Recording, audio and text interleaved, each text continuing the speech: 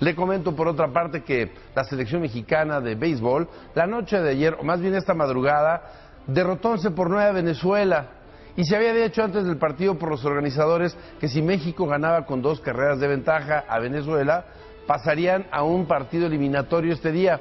Pero entrada la madrugada dijeron que estaban eliminados, que el comité organizador determinó que el equipo vinotinto tenía a su favor el criterio del desempate, a pesar de una apelación presentada por la novena mexicana. El desempate entre Venezuela e Italia será hoy a las 7 de la noche desde Guadalajara.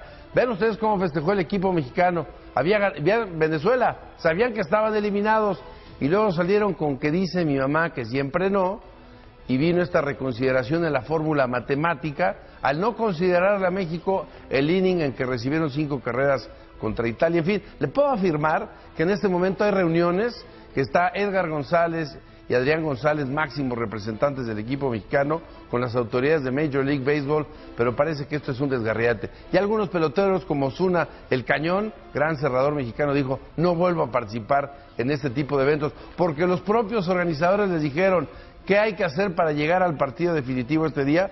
Ganarle a Venezuela por dos carreras, así sucedió, y luego dijeron que siempre no.